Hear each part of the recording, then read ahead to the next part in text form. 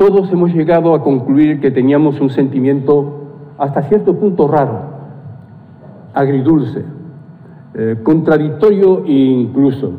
Porque, claro, por una parte teníamos la satisfacción de que el Tribunal Constitucional ha reconocido nuestra inocencia y que, como señaló en su momento eh, Carmen Martínez Aguayo, pues ni nos han indultado, ni nos han amnistiado, simplemente el Tribunal Constitucional lo que ha hecho es justicia, es decir, nos ha dado la razón.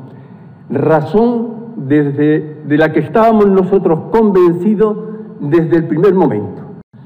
También puedo citar pues la alegría y la satisfacción de nuestras familias, la satisfacción de mis compañeros y compañeras del, del partido, pero también, por otra parte, pues han sido años muy duros, hemos sufrido mucho. Y mi sentimiento personal también ha sido un sentimiento de mucha tristeza, porque lo que ha ocurrido no tenía que haber ocurrido, no tenía que haber pasado.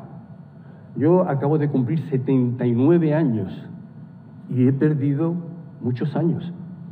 Que lo situamos todo, se sitúa todo en el contexto de una operación política, de una operación mediática, de una operación con ropaje judicial, montada por un partido político, montada por el Partido Popular, que tenía un objetivo, echar al Partido Socialista del gobierno de la Junta de Andalucía.